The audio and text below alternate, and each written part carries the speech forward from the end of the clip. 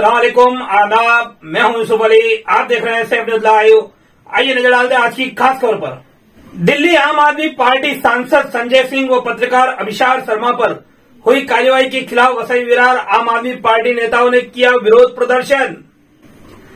आगरी सेना प्रतिनिधि मंडल ने की महाराष्ट्र राज्य मुख्यमंत्री एकनाथ शिंदे से मुलाकात। देश की सबसे तेज दौड़ने वाली वंदे भारत ट्रेन को खींचते पुराने इंजन का वीडियो हुआ वायरल। दोस्तों, इस वीडियो में हम एक साथ तीन दिलचस्प और अहम खबर लेकर आए हैं। वीडियो को अंत तक ज़रूर देखना।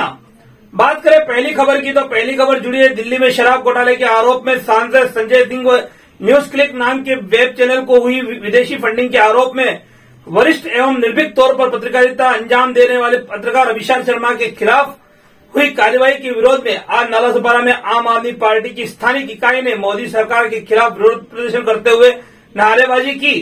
यह प्रदर्शन नालासोपारा के बस स्टैंड परिसर के पास किया गया।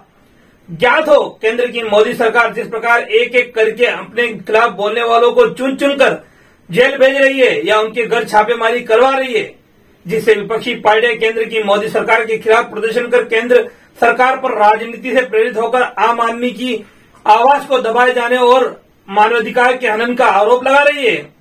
इसी कड़ी में नालासोपारा अंतर्गत यह विरोध प्रदर्शन हुआ।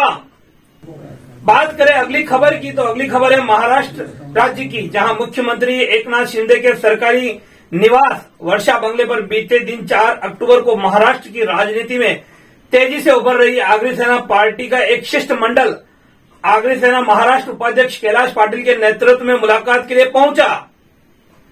जिसके बाद महाराष्ट्र राज्य और विशेष तौर पर वसई विरार समेत समूचे पालघर ज़िले में अलग राजनीतिक गर्मागर्मी देखी गई।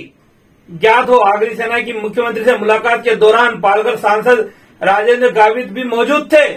आगरी सेना महाराष्ट्र उपाध्यक्ष कैलाश पाटिल ने अपने फेसबुक अकाउंट पर मुख्यमंत्री से मुलाकात की तस्वीरें और वीडियो शेयर करते हुए मराठी में एक बहुत लंबी पोस्ट लिखी है, जिसमें कैलाश पाटिल ने स्थानिक वसई विरार के कई अहम मुद्दों का ज़िक्र किया है।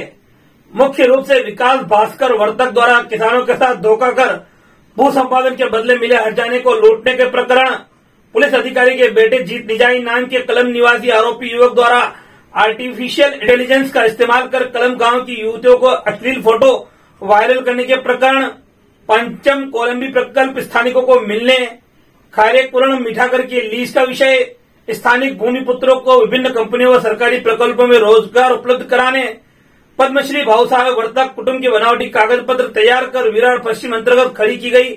रहवासी सोसाइटियों में भूमाफिया द्वारा नगर रचना महसूल और पर्यावरण के नियमों को ताक पर रखकर उभारी गई सुरक्षा स्मार्ट सिटी। शाहपुरजी फलुंजी समूह, अमय बिल्डर्स आणि प्रॉपर्टी डेवलपर्स आदि विकासकों के विभिन्न प्रोजेक्ट में नागरिकों और सरकार के साथ की गई धोखाधड़ी के आरोप पर योग्य कार्यवाही करते हुए संबंधितों के ऊपर भारतीय दंड संहिता में विविध कायदे अंतर्गत कार्यवाही करने की चर्चा होने की बात पोस्ट में लिखी। वहीं मुख्यमंत्री एकनाथ शिंदे द्वारा सकारात्मकता दिखाए जाने की भी बात लिखी। अब बात करें तीसरी अंतिम खबर की तो आपको बता दें कि यह खबर सोशल मीडिया पर प्लेटफॉर्म फेसबुक पर तेज़ी से वायरल हो रही एक वीडियो की है उपरोक्त वीडियो में देखा जा सकता है कि वर्तमान में देश की सबसे तेज दौड़ने वाली और प्रधानमंत्री नरेंद्र मोदी द्वारा हर थोड़े दिनों में अलग अलग स्टेशन पर हरी झंडी दिखाकर शुरू की जा रही वंदे भारत ट्रेन को पुराने समय के बने इंजन द्वारा खींचा जा रहा है, जिस पर फेसबुक पर पोस्ट करने वाले ने कटाक्ष करते हुए लिखा है कि नौ साल के विकास को सत्तर साल के विकास ने घसीटा तो देखो, सत्तर साल का विकास कितना मज़बूत है। हालाँकि उपरोक्त वीडियो कहाँ का है, इसकी कोई जानकारी हमारे चैनल को हासिल नहीं हुई है। और ना ही हमारा चैनल इस वीडियो की सत्यता की पुष्टि भी करता है। लेकिन कुछ भी हो यह वीडियो तेज़ी से वायरल हो रहा है। खबरों में अभी के लिए इतना ही। इस वीडियो के बारे में कमेंट में अपनी राय ज़रूर दीजिए। वीडियो को लाइक और शेयर कीजिए। चैनल को सब्सक्राइब कीजिए। धन्यवाद। हमारे चैनल सेफ़ न्यूज़ लाइव पर अपने व्यापार और सेवा से संबंधित विज्ञापन प्रसारण हेतु दिए गए मोबाइल नंबर पर संपर्क करें।